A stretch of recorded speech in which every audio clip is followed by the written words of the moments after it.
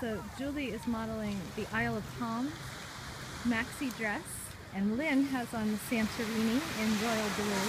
Walk that way a little bit down toward the water.